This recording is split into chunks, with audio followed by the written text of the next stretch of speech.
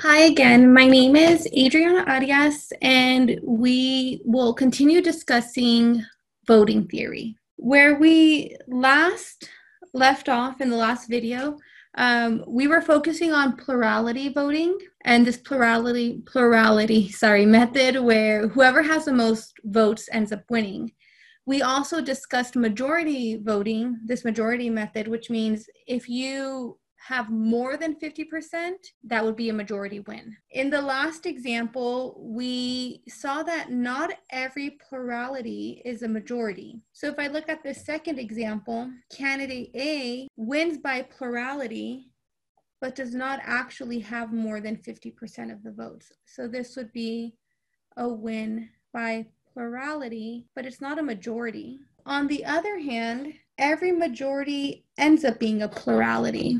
So in this first example, candidate A has the majority votes. And because this first candidate has a majority, that means that they also have the most. They have the plurality vote. So this is really important that not every plurality is a majority, like in this second example, but every majority is, in fact, a plurality. What we will continue discussing is this idea of fairness. And to help us decide whether a voting result is fair, two popular fairness criteria are the following the majority criterion, which we said is 50% or more, and then the Condorcet criterion. This Condorcet criterion is the one that we're really going to explore in this section. And this says that in order for a candidate to win, they have to beat every other candidate in a head to head election. So your candidate has to beat everybody else if they went head to head.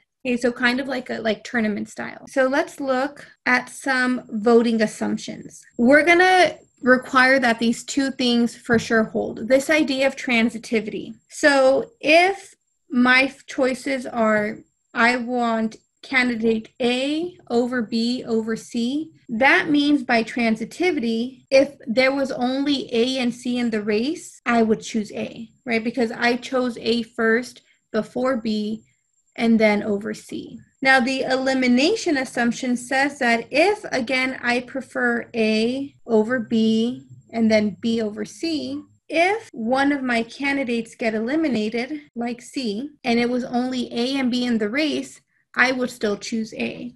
Okay, so these two assumptions um, are important for this to hold in this Condorcet criterion. So we're going to look at one example, and this is the same preference table schedule that we had in the last video where we had the and the alligator, baboon, cheetah, and dolphin all candidates for this animal kingdom election. So in the last video, we said alligator was the winner by plurality. Okay? We want to know is there a Condorcet winner? So that means we have to take these candidates and make them go head to head. Okay, so I'm going to start with candidate A and candidate B. So I'm going to just compare their results. Okay, so if I look at these first 14 voters, 14 of them chose A over B. So again, we're, we're kind of ignoring C and D. We're just focusing on A and B.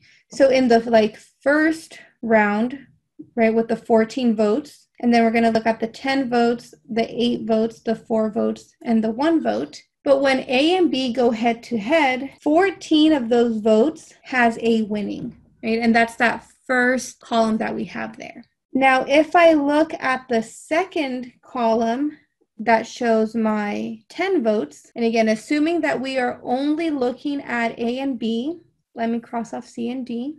When I look at this, we see that B was chosen over A, right? So 10 times B in the second in the second type of ballot, B was chosen over A.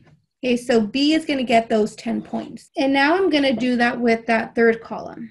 Okay, so the third column has eight of these votes. And again, we're only comparing A and B. So when I look at this, B was chosen over A. So B is also going to get those eight votes. I'll look at this fourth column now, and that fourth column gets four votes, or four animals voted like that. I will get rid of C and D. And again, B was chosen over A. So B is also getting those votes. And the very last column that I'm going to check is this single vote, that there was only one person that voted in that ranking system, or one animal, sorry. I keep saying person, one animal who voted in this ranking system. And when I only focus on B and A, B once again wins. So I am going to total up these points, and it looks like A has 14 of the votes. And then when I look at B, B won 10 plus 8 plus 4 plus 1. B has 23 of the votes in this Condorcet method, which means then that B won against A. If it was a battle between just A and B, B would win. Now that we know that B is the winner of like this first round, we're now going to go and see what about if we fight not fight if we compare in a head-to-head election b versus c so we're going to run through the same exact process okay so let me get rid of all of my color coding here and again we have 14 animals who voted in the same ranking system then 10 then 8 then 4 and then 1 and then we will see which one of these between B and C ends up with this, with the more votes if they just went head to head. So I'm going to look again at the first column and we're just focusing on B and C. So I'm going to get rid of A and of D. And when I look at this, B is the winner. So B is getting those first 14 votes. Now in the second column, which is worth 10 points, again, I am going to only focus on B and C. Actually, C is the winner here, right? C is chosen over B, so C is going to get those 10 points. I will now look at the third column that is worth eight of these votes, and I'm only focusing on B and C. And when I do that, B is a preferred winner, right? So B is getting those eight votes from that from that ballot, that column. Now look at the fourth column. The fourth column is worth four points and I'm comparing just B and C. So when I eliminate A and D, once again, B is preferred over C. So B is getting those votes. And the very last one that we are going to check is this last column that is only worth one vote, okay, but still important. I'll get rid of D and A, and here C is the winner. C was preferred over B, so C is getting those those votes. So now I'm going to add them up. And when B goes against C, B has 14 plus 8 plus 4. So B gets 26 of the votes, while C gets 11 of the votes. So when B goes against C, B also wins, right? So B is the winner when they go against candidate A. B is also the winner when they just go head to head with candidate C. So the last one that candidate B needs to check is what happens if I win against Dolphin. Okay? If the baboon wins against Dolphin, that's it.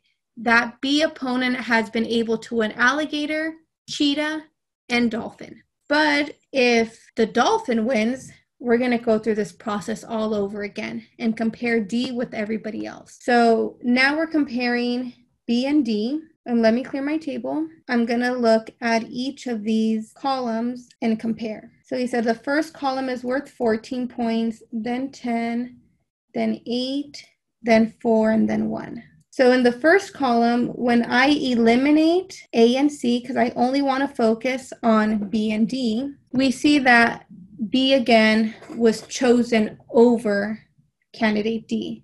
So B is getting those 14 votes. Now we'll look again at the second column and I'll eliminate candidate A and candidate C. And when I only leave B and D, once again, B was chosen over candidate D. Looking at the third column and getting rid of A and C, we'll see that in this purple column, D was actually preferred over B. So D, go, D gets those eight votes. In the fourth column, B wins because when I eliminate A and C, B is preferred over D. So Baboon is getting those four points.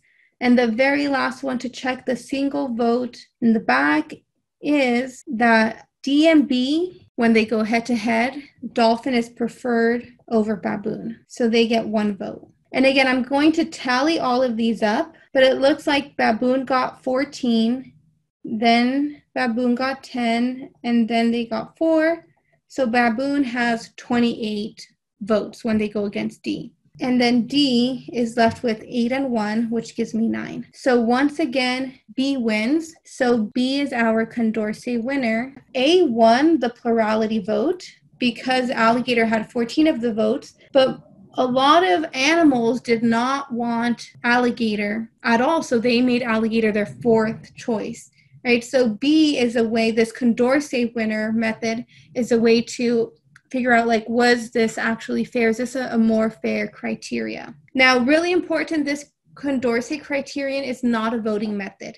It's just used to determine how fair the results are when the majority criterion is not satisfied. Okay so this is only a way to determine fairness and it's not actually a voting method